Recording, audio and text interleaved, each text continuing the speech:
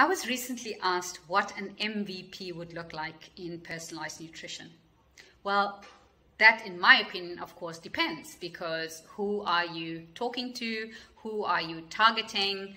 Uh, and what are their health goals and needs? Because it should essentially be about the user, not about the MVP. However, if I had to really, really give an answer, I would say there are three components. The first one is you need to understand the uh, dietary habits of the individual. So, understand not only their consumption patterns, but also understand their food choices. Because once you have that starting point and understand the, the environmental factors that might be playing into how and why they are choosing those types of uh, foods or dietary patterns, um, that should uh, give some, some information and a, a starting point uh, in terms of helping uh, individuals towards healthier habits. The second part is, of course, the behavior part.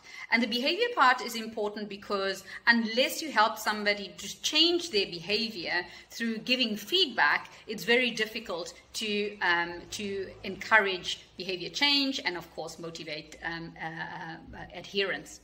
And so First one is nutrition component, the second one is behavior, and the third one is a digital component. Because of course, it's important that the individual doesn't have to continuously write down on paper or continuously uh, send messages via text, uh, but it, it, should be a very seamless process, uh, leveraging technology to make that interaction between submitting data and giving the feedback very, very smoothly. And of course, we have technology now to do that. And so um, I would say, in terms of that MVP, always think about how are you addressing the nutrition component or how nutrition connects into the health component how do you address the behavior component and how are you going to deliver that actionable recommendation and feedback in a very very easy way through a digital component